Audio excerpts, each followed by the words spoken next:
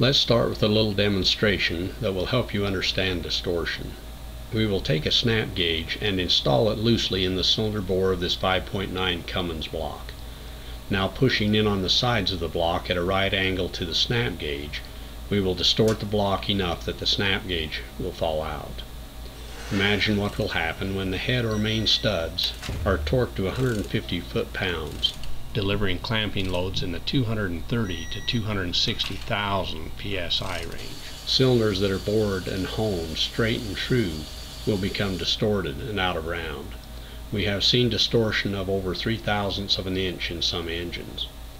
Not only does this cause blow-by and loss of compression, it can also cause piston scuffing due to a lack of piston to cylinder wall clearance. Now we are going to try and demonstrate what happens to a cylinder bore after a deck plate is installed using high performance head studs.